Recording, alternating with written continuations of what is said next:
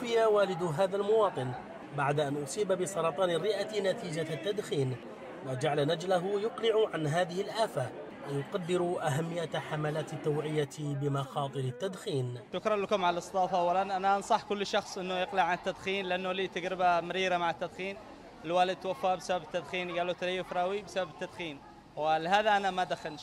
وأنصح كمان الجيل الشاب إنه يقلع عن التدخين حتى التدخين الإلكتروني اللي انتشر الأيام هذه. هذا مضر جدا. وشكرا لكم على حملات التوعية. هذه تساهم في الحد من خطر التدخين بشكل كبير بين أوساط المجتمع. بالتزامن مع اليوم العالمي لمكافحة التدخين تبرز أهمية الفعاليات المحذرة من مخاطره. كونه أحد الأسباب الرئيسية للإصابة بمرض السرطان وفق إحصائيات مخيفة. كشف عنها المختصون. طبعا اليوم نحن نتكلم على سرطان أو مسبب التدخين اللي هو مسبب رئيسي لسرطان الرئة وغيرها من السرطانات.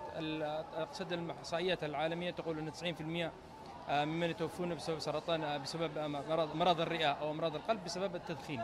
والتدخين طبعا يؤدي إلى تضخم في القلب أو يؤدي إلى أمراض متعددة جدا اهمها اللي هو سرطان الرئة ويأتي طبعا سرطان الرئة بعد أكثر انتشارا في العالم بعد سرطان الثدي. هذا الواقع المخيف الذي يتسبب به التدخين جعل منه عدوا لابد من محاربته وشحذ الجهود للتحذير من انتشاره بكافة أنواعه وأصنافه. يعتبر التدخين من أهم من أهم المسببات لسرطان الرئة وليس فقط كتدخين فقط وإنما أيضا كصورة أخرى مثل مع نحن الشمة اللي حاليا منتشرة. اللي تطرح بشكل موضعي وليس بشكل التدخين يعني فهي تعتبر أيضا من من من مخاطر التبغ فاليوم هذا ليس فقط لمكافحة التدخين وإنما هو لمكافحة أضرار التبغ ومما تؤدي إلى ظهور السرطان. التدخين يضر الإنسان في صحته وفي ماله وفي نفسه في معدته في جسده في أسنانه في كل شيء.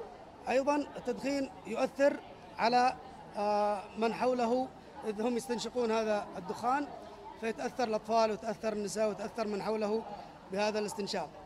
فلا بد أن تكثر من مثل هذه الحملات التوعوية في هذا المجتمع حتى ينتصح الناس وننصحهم جميعا بعدم التدخين.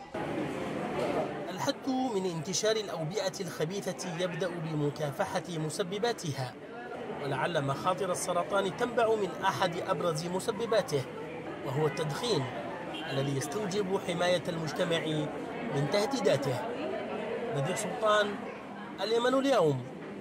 عدن.